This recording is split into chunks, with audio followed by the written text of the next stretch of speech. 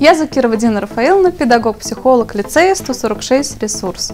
Говорят, что психологом не становятся, а рождаются. Это правда. Я родилась 22 ноября, в День психолога. Мысль стать врачевателем человеческих душ меня не покидала с седьмого класса. В университете мне была интересна психология образования. С первого курса я работала волонтером в психологической службе. А когда в руках у меня оказался долгожданный диплом психолога, первая мысль была, смогу ли я стать профессионалом. Для того, чтобы состояться в профессии, необходимо было пройти хорошую практику. Так появилась еще одна мысль – это должна быть школа. Основной целью моей работы в лицее является обеспечение полноценного психического и личностного развития всех участников образовательного процесса. В своей работе я руководствуюсь профессиональным стандартом педагога-психолога и нормативными документами. Представляю свою работу в образе дерева. Дерево начинается с корней, как моя работа с диагностики.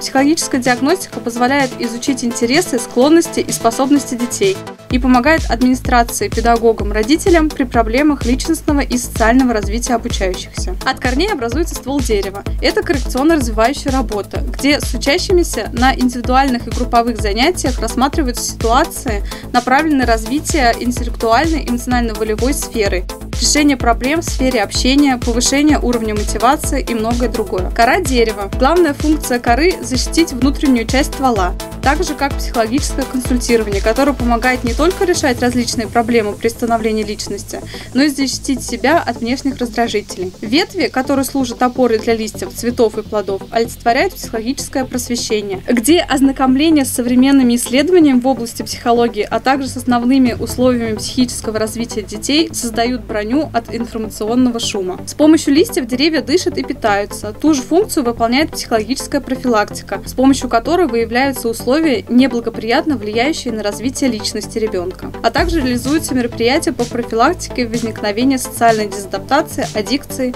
и девиации поведения. Плоды – это продукт, психологическая экспертиза, оценка комфортности и безопасности образовательной среды, где проводится психологический мониторинг и анализ эффективности использования методов и средств образовательной деятельности. Когда учащемуся и педагогу комфортно в образовательной среде, это показатель того, что плоды у дерева здоровые. Как дереву важен каждый этап роста, так и я только при успешной реализации всех направлений эффективно строю процесс психологического сопровождения всех участников образовательного процесса. Стала ли я за пять лет профессионалом в своем деле? Да, я уже проделала большую работу и многому научилась, помогла учащимся в обретении психологического равновесия. Стараюсь непрерывно обучаться и развиваться. Провожу открытые занятия, мероприятия, семинары, с учениками и педагогами, выступаю на конференциях и делюсь опытом в высших учебных заведениях города. При моем участии в лицее создана действенная служба примирения. В перспективе реализация проекта, связанного с профориентационной работой, которая поможет ученикам в выборе будущей профессии. Сегодня я практикующий психолог, психолог в образовании, специалист ответственный, глубинно мыслящий, творческий и сообразительный. Тот, кто при нескончаемых школьных проблемах всегда бодр духом и одновременно сочетает в себе умение вести и нормативную документацию, и практическую деятельность. Тот, кто всегда в курсе всех событий лицея. Я счастлива, что я педагог-психолог по призванию и могу оказаться в нужный момент полезной детям. В октябре 2022 года вышла из зоны комфорта и стала лауреатом Всероссийского конкурса «Педагогический дебют 2022». Также стала призером городского этапа профессионального конкурса «Учитель года». А теперь иду дальше – и поэтому говорю «Здравствуй, конкурс! Педагог-психолог 2023».